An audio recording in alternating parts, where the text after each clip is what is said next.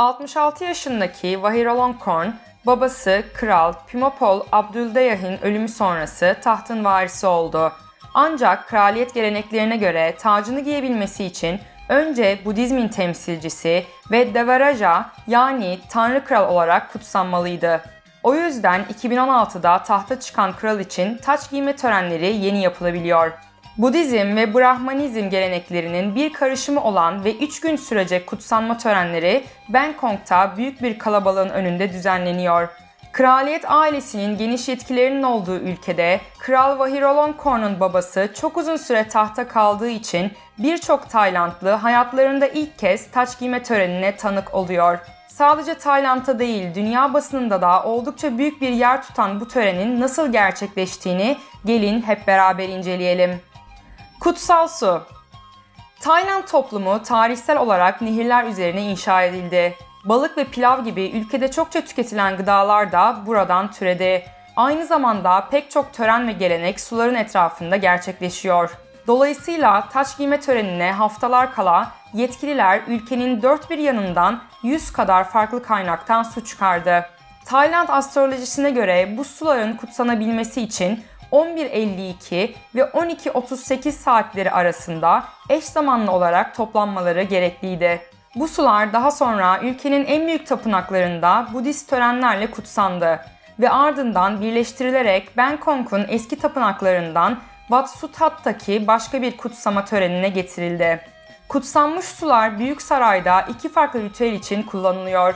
Birincisinde sular beyaz bir elbise içindeki kralın vücuduna dökülüyor. Burada amaç kralı arındırmak. İkinci ritüelde ise kral geleneksel kıyafetlerini giyip incir ağacından yapılan sekizgen tahta oturtuluyor. Ona kutsal yağ sürülüyor, ardından 8 kişi ellerine su döküyor. Kralın kız kardeşi ve ülkenin başbakanı ile saraydaki Hindu bilgiler ve Brahma rahipleri de bu 8 kişi arasındalar. Uzmanlar suyun kullanılmasının Brahmanizmin 100 yıllık geleneklerine dayandığını söylüyorlar. Altın ve pırlantalar Kral daha sonra Batrapata tahtına giderek 8 sıralı bir şemsiyenin altına oturuyor. Burada ona kraliyet regaliyası yani geleneksel kraliyet kıyafetleri, aksesuarları, rütbeleri ve sembolleri takdim ediliyor.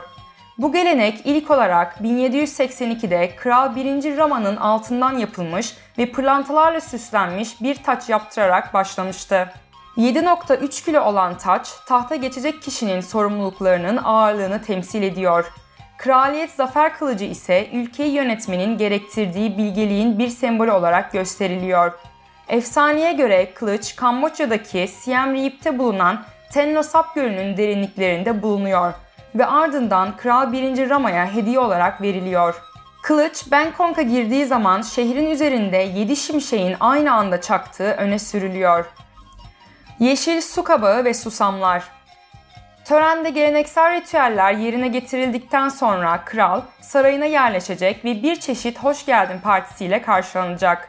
Chakrapat Biman kraliyet konutuna düzenlenecek özel bir törende ise kraliyet ailesinden kadınlar ona eşlik edecek. Kadınlar yanlarında bir kedi, beyaz bir horoz, değirmen taşı, bir tepsi yeşil su kabağı, bir tepsi pirinç tohumu, bir tepsi fasulye ve bir tepsi susam getirecekler. Bu tohumlar tarımda verimliliği ve bereketi temsil ediyor. Kedinin anlamı ise biraz daha karmaşık. Bazıları yeni bir evde sıçanları kovalaması için mutlaka kedi olması gerektiğine, bazıları ise bu geleneğin kedilerin şeytani ruhları kovduğu düşüncesinden doğduğuna inanıyor. Sarayın sahibi olduğunu göstermek için krala bir de altın anahtar takdim ediliyor. Günler süren bir dizi törenin ardından yeni kral sarayının balkonundan bir konuşma yapacak ve Bangkok'taki geçit törenlerinde halkın karşısına çıkacak. Oldukça ilginç olan Tayland Kralı taç giyme töreni için size verebileceğimiz bilgilerin sonuna geldik. Her ülkenin ve her kültürün geleneklerine, göreneklerine ve inançlarına saygı duyarak videomuzu burada bitiriyoruz. İzlediğiniz için çok teşekkür ederiz. En kısa zamanda yeni videolarla görüşmek üzere. Şimdilik hoşçakalın.